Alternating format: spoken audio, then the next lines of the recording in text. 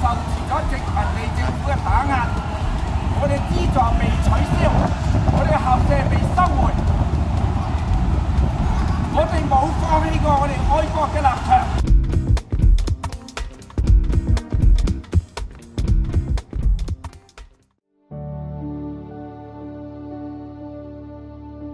港專嘅前身咧，就係包括呢個工人夜校啦，同埋勞工子弟學校，咁都係喺誒戰後咧，一九四六同埋一九四七年呢係成立嘅。因為打完仗啦，咁所以經濟就好差，冇工做啦，咁所以咧呢啲工人嘅子女，佢哋係冇能力去有一個讀書嘅機會。我哋嘅一啲嘅工會嘅前輩呢，就成立咗。日校嘅勞工子弟學校同埋夜校嘅工人夜校咧，就幫兩批人咧去解決佢哋嘅困難嘅。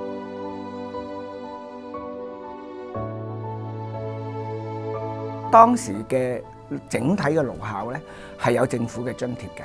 咁咧到一九四九年之後咧，因為新中國嘅成立啦，成個政治環境改變咗，咁所以咧當時嘅殖民地政府咧亦都改變咗。對呢啲左派誒工會團體或者學校嘅一個態度，咁當時嚟講，我聽到嘅咧有兩個名詞嘅，一個就叫做護校嘅抗爭，一個叫護津嘅抗爭。當時嘅誒旺角勞工子弟學校咧，咁但係佢冇自己校舍嘅，佢係要用旺角官立學校個校舍。但係因為當時勞校咧集團咧就堅持要愛國啦，咁所以咧。政府就用一個理由，就話誒，我哋都唔辦旺角誒官校啦，所以咧就唔再俾旺角勞工子弟學校咧，就再用旺角官立學校嘅校舍，就誒趕咗佢哋走。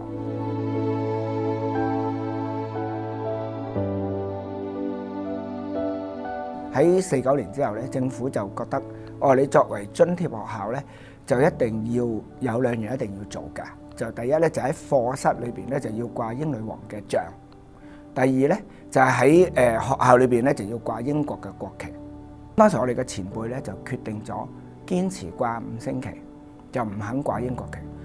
路校就被取消咗津貼。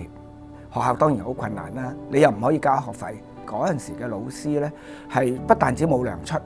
甚至有部分嘅老師嘅家境都支撐得到咧，甚至係捐自己嘅錢出嚟咧幫學校去繼續維持經費嘅。咁但係咁樣長及長貧難顧啊，咁所以亦都喺同誒一啲支持人士嘅商議底下咧，就發起咗籌款。咁其中一種形式咧就係賣花籌款。其實誒今日嘅賣旗籌款咧嘅前身就係賣花。咁當時呢個賣花籌款喺嗰個社會氣氛下邊咧係好踴躍。誒籌到嘅錢咧，但喺五十年代初期呢個一個巨額數字，係破咗當時全港嘅籌款記錄。